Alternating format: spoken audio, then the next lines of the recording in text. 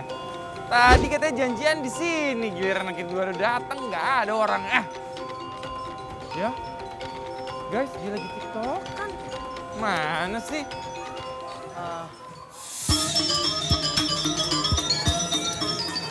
Eh, Mantep banget. Klasik lo, tiktokan aja kita mau makan.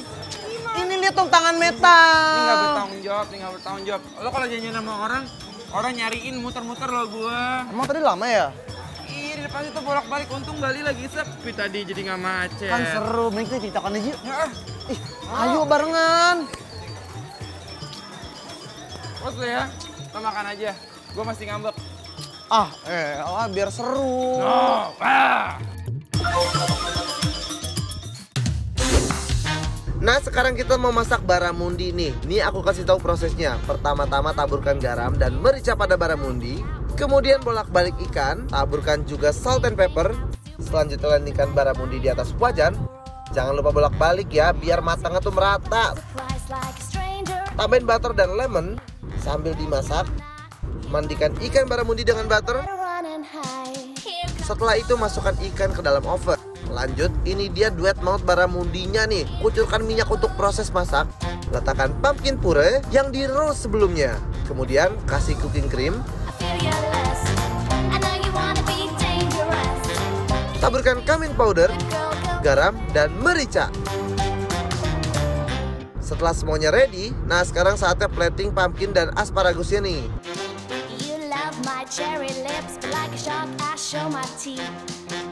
Taburkan garlic, lalu plating lemon dan ikan baramundinya Terakhir, kucurkan garlic butter sauce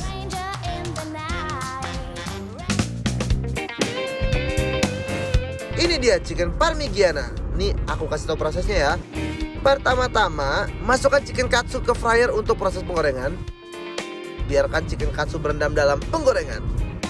Setelah matang, angkat chicken katsunya ya. Terus di plating deh. Setelah itu, balurkan chili rars untuk chicken parmigiana.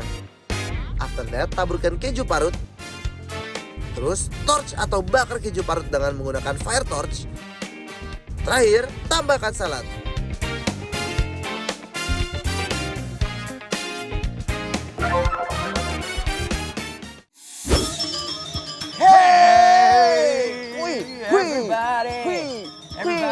Everybody, put your hands up, everybody. Kita lagi di daerah Canggu nih. Canggu tuh daerah lebih kayak lagi keren banget di Bali. Kayak yang sekarang kita mau cobain ini eh, khas Maroko.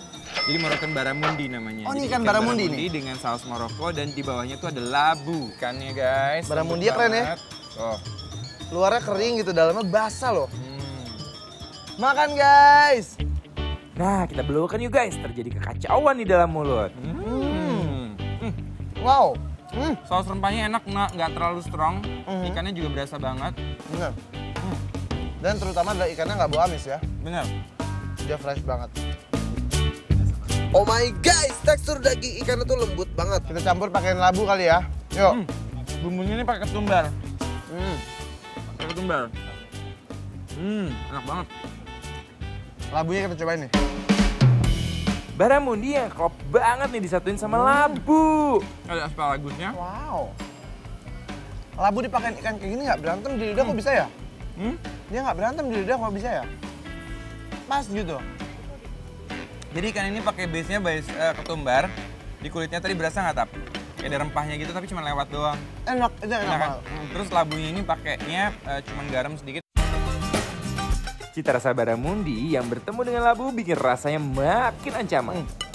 Nah ini kulitnya pas bagian banyak bumbunya guys.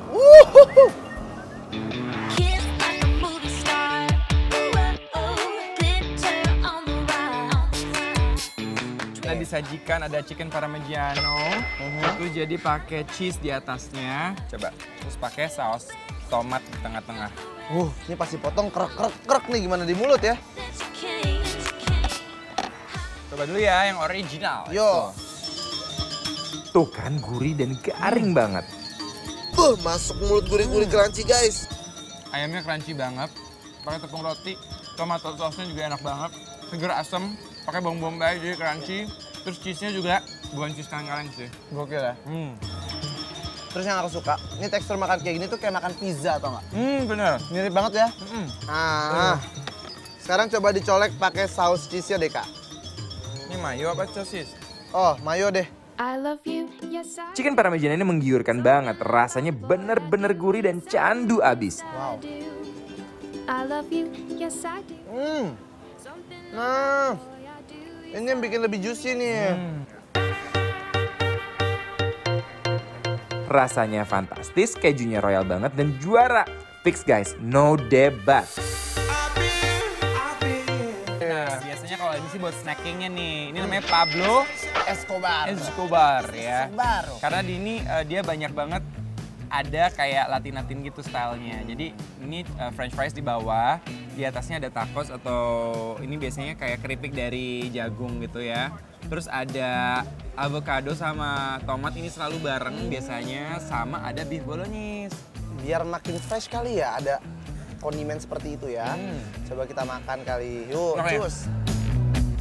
Cocok banget nih buat suasana pa- panas-panas kayak gini. Hmm. Nih guys, lihat di dalamnya. Tuh.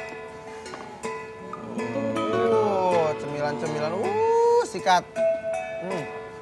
Enak banget. Hmm. Kentangnya enak loh. Enak. Wow. Ini avokadonya, avokadonya manis banget, legit.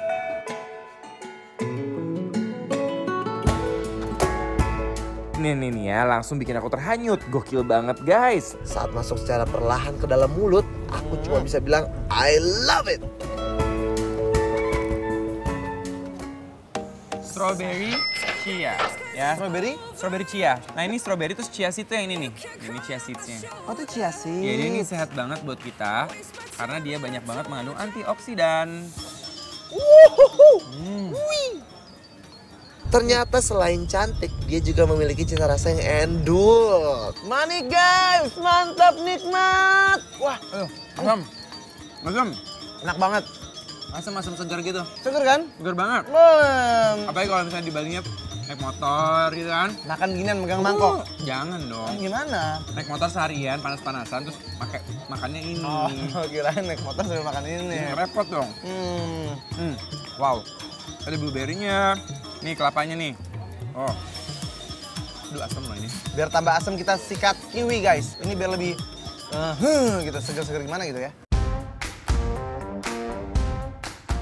Buat yang udah penasaran pengen tahu kita makan makanan endul ini di mana, cus langsung meluncur dan follow dan kepoin Instagram @bikinlapertransTV. Karena semua info lengkapnya ada di sana guys. Pokoknya nggak bakal nyesel deh kepoin Instagram Bikin Lapar Trans TV.